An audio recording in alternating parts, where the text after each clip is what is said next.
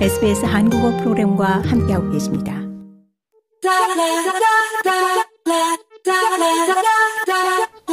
K-아트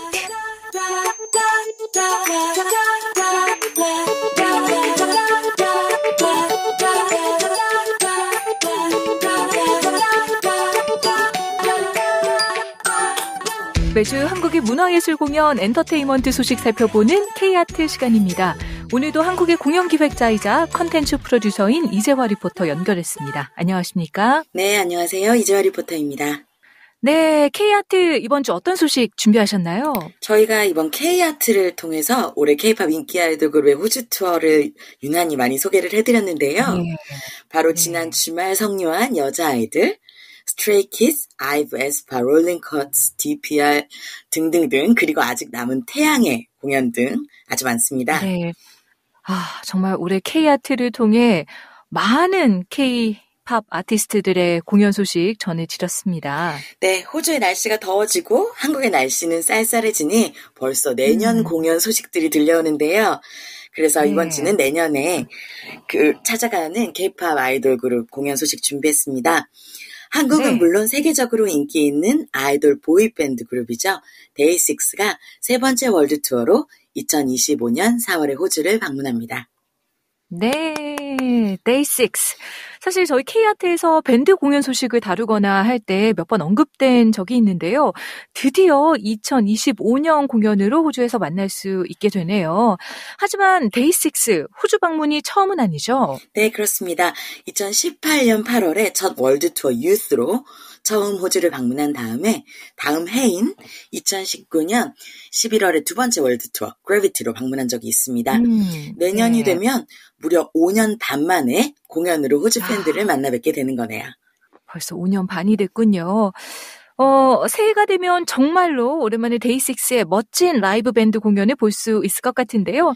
어, 저희 청취자 여러분들을 위해서 간단히 팀 소개를 부탁을 드리겠습니다. 네, 데이식스는 2015년 9월에 데뷔한 성진, 영케이, 원필, 도운으로 구성된 JYP 엔터테인먼트 소속 4인조 남성 밴드입니다. JYP 음. 엔터, 테인먼트에서 밴드로 데뷔한 최초의 아티스트고요. 이들의 데뷔도 벌써 10년이 되었습니다. 데이식스는 팝, 록 사운드에 기반한 밴드이기 이전에 훌륭한 목소리를 가진 보컬리스트가 주도하는 케이팝 최고의 보컬 그룹 중 하나로 꼽힙니다. 음, 각각의 네. 보컬리스트들은 파트에 무관하게 곡의 어느 부분, 어느 정서를 완벽하게 소화할 수 있는 실력을 갖추고 있고요. 멤버는 네. 성진, 리더이자 기타리스트고요. 영케이, 랩, 베이스, 원필, 키보드 신디사이저, 도운, 드럼으로 구성되어 있습니다. 멤버 전원이 노래에 참여하고 또 악기를 연주하고 곡을 만듭니다.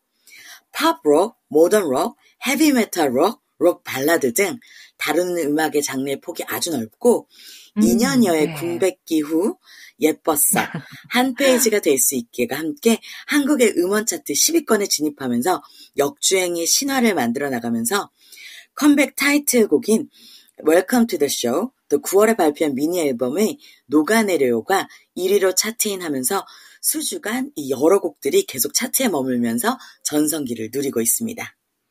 네, 또 하나 배워갑니다. 군백기. 군대 가는 걸 그렇게 말하는군요. 어, 네. BTS도 그러면 현재 군백기라고 할 수 있겠네요. 네, 응용이 아주 좋습니다.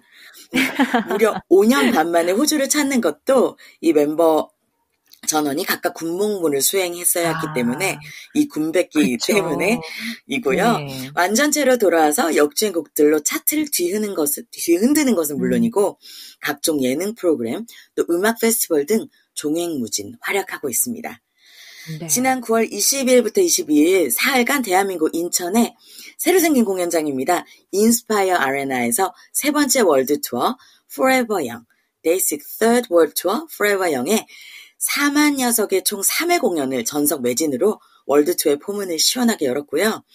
올해 네. 말레이시아, 인도네시아, 싱가포르, 태국 등을 거쳐서 내년 초 대만, 홍콩, 일본, 필리핀, 다음 4월 6일에 시드니의 더 호던 파빌리언과 4월 9일에 멜번 페스티벌 홀에서 호주 공연을 가지게 됩니다. 네. 이후에는 뉴질랜드를 거쳐서 미주권에서 계속 투어를 진행할 예정이라고 하고요. 데이식스와의 떼창이 아시아를 거쳐 호주 그리고 전 세계로 계속되고 있습니다. 네. 지난 두 번째 월드 투어에서도 이 데이식스의 에너지 넘치는 무대 퍼포먼스에 이 관객들의 떼창이 함께 어우러지면서 깊은 인상을 남겼던 것으로 기억합니다. 이 저희 SBS PopAsia에서도 이 당시 성공적이었던 공연의 현장 분위기와 어, 이 요인을 자세히 다룬 바 있었는데요. 어, 곧 찾아오는 세 번째 월드 투어 Forever Young 이 많은 팬들이 기대하고 기다리고 있을 것 같네요. 네. 네. 이어서 이번 주 K아트 다음 소식으로 넘어가 보죠. 네, 오는 11월에는 한국에 찾아오는 호주 공연도 있습니다.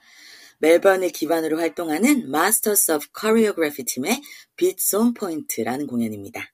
음, 네. 호주 commercial 댄스 장르 리더 말로 페링 마스터스가 이끄는 발레와 스트리트 댄스가 결합된 상업 공연으로요. 에딘버러 프린지 페스티벌 초청작으로 우수한 평가를 받은 작품입니다.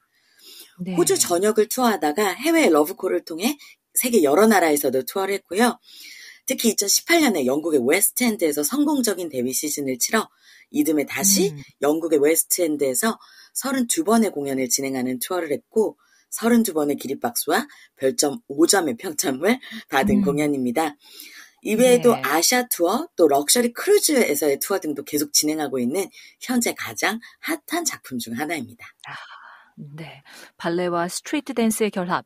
이 언급하신 축제에서도 이 크루즈에서도 관객들의 흥미를 끌만한 공연일 것 같은데요. 네, 특히 한국에서는 지금 스트리트 우먼 맨 파이터에 이어서 요즘 스테이지 파이터로 순수 장르의 음. 무용 서바이벌 오디션 프로그램이 한창이라서 더욱 관심을 네. 모을 만한 공연이 될 것 같습니다. 네. 특히 스테이지 파이터 한국 무용은 굉장히 놀라웠습니다. 그렇습니다.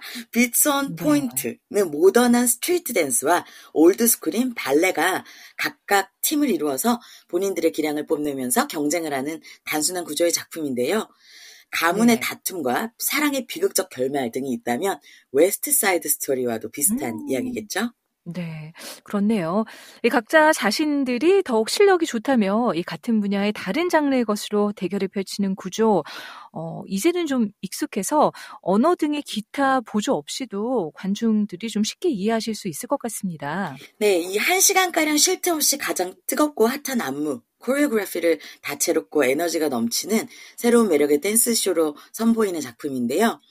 클래식과 네. 모던한, 모던의 완벽한 조화와 또 인상적인 기교와 속도감 있는 시원한 전개 등이 장점으로 꼽히면서 작년도 또 올해도 에딘버러 프린지에 참가해 격찬을 받으면서 큰 사랑을 받고 있습니다. 음, 특히 네. 기량이 우수한 댄서들이 한시도 쉬지 않고 음악과 함께 마치 액션 영화를 선보이는 듯한 리드미컬하지만 아, 리드미컬 음. 하면서도 또 강렬한 움직임 등이 찬사를 받고 있습니다. 약한 네. 시간을 관객들을 홀린 듯이 작품에 빠져서 감상하게 된다고 하는군요. 네, 아, 기대가 됩니다. 한국에서는 11월 어디에서 공연되나요? 전남의 여수 엑스포홀을 시작으로 경북 예천 문화예술회관, 또 서울 강북 문화예술회관 등 세 곳에서의 공연이 예정되어 있습니다. 네, 전남에서 서울까지 이 전국 방방곡곡에서 이 호주 댄스팀의 무대를 만나볼 수 있는 기회입니다.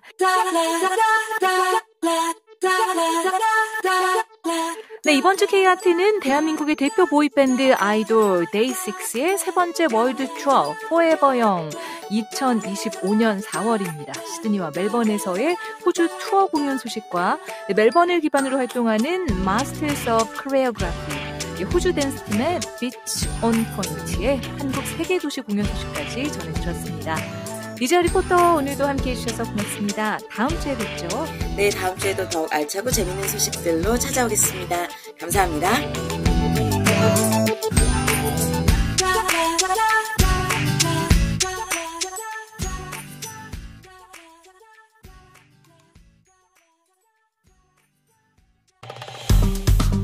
좋아요, 공유, 댓글, SBS 한국어 프로그램의 페이스북을 팔로우해주세요.